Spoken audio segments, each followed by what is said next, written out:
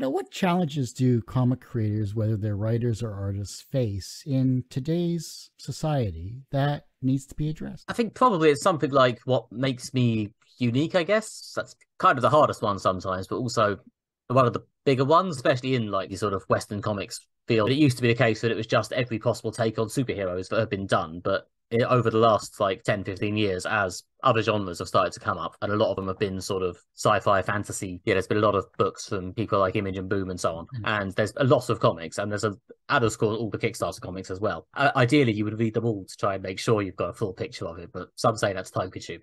A lot of these genres are now getting a lot of play due to the increased volume of these various books and Kickstarters and stuff, and I think it's still worth trying to keep some idea of a, I don't know what makes me unique. I mean, even if it's the vo- if it's the voice rather than the idea, because I am also aware of the concept that you know there were no original ideas. Most things have been done at some point in some way. I am 100% sure that if I spent 20 minutes on Google, I would find another comic, film, TV show, fan fiction story online about a stone cop. To an extent, yes, the, the, unique angle is my voice, my angle, my perspective on it. It's still got to be something there. The, I guess it's kind of similar to what I said about accepting the first draft. Much as you'd like the idea of just knocking yourself away from the world, an independent writer who just produces their genius and gives it to everybody. There has to be, I think, some sense of okay, what's what's the new thing, what's the interesting thing, what's the unique thing. I think. I think that's possibly one of the bigger challenges. Thousand monkeys doing out your stories while you just reap the benefits. I think we can only deal with what we can deal with, and hopefully we come up with something amazing. Yeah, I, I can't get a thousand monkeys. I can't afford to pay them all individually.